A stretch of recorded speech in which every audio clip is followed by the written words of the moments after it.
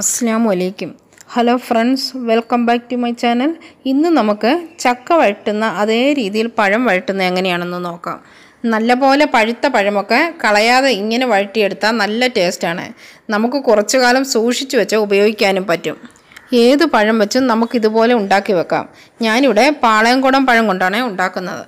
ഇതിന് വേണ്ടത് ഏതെങ്കിലും പഴം ശർക്കര നെയ്യ് ഏലക്കാപ്പൊടി.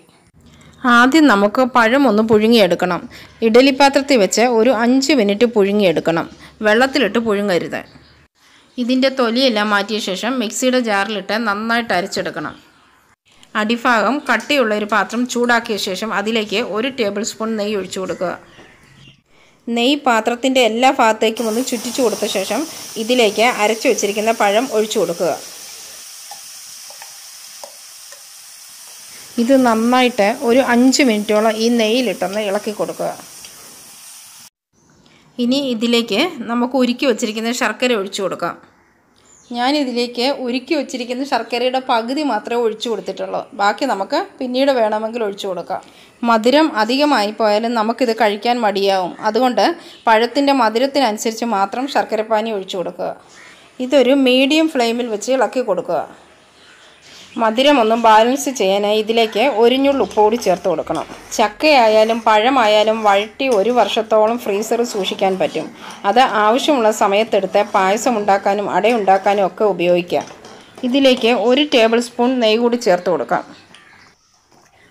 ഇനിയും നമുക്കിത് ശരിക്കും സമയമെടുത്ത് തന്നെ വഴറ്റി കൊടുക്കണം.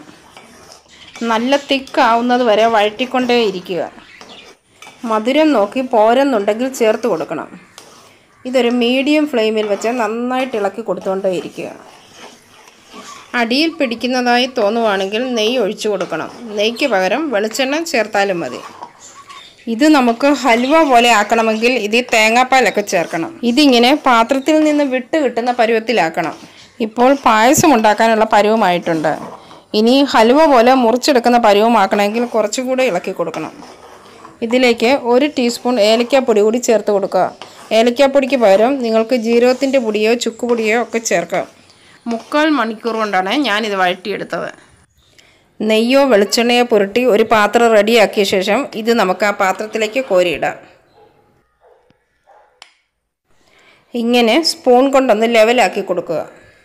തണുത്തതിന് ശേഷം നമുക്കിത് ഫ്രിഡ്ജിൽ സൂക്ഷിക്കാം. ചക്ക വരട്ടിയതുപോലെ തന്നെ ഇതും നല്ല ടേസ്റ്റാണ്. ചക്ക വരട്ടിയത് കൊണ്ട് യൂസ് ചെയ്യുന്നതെല്ലാം ഇതുകൊണ്ടും ചെയ്യാം. ചപ്പാത്തിക്കകത്തോ ബ്രെഡിനകത്തോ ഒക്കെ തേച്ച് കഴിക്കാം. അതുപോലെ തന്നെ അട ഉണ്ടാക്കാനോ കുമ്പളപ്പം ഉണ്ടാക്കാനോ ഒക്കെ ഉപയോഗിക്കാം. ഇനിയും നിങ്ങളുടെ കയ്യിൽ ഏത് പഴം ബാലൻസ് വന്നാലും ഇതുപോലെ ഒന്ന് ട്രൈ ചെയ്ത് നോക്കുക. ട്രൈ ചെയ്ത ശേഷം ഫീഡ്ബാക്ക് അറിയിക്കാൻ മറക്കരുത്. ഈ റെസിപ്പി ഇഷ്ടമായ ലൈക്ക് ചെയ്യുക ഷെയർ ചെയ്യുക. സബ്സ്ക്രൈബ് ചെയ്യാത്തവരുണ്ടെങ്കിൽ സബ്സ്ക്രൈബ് ചെയ്യാൻ മറക്കരുത്. ഇൻഷാല്ല മറ്റൊരു നല്ലൊരു റെസിപ്പിയുമായി നമുക്ക് വീണ്ടും കാണാം.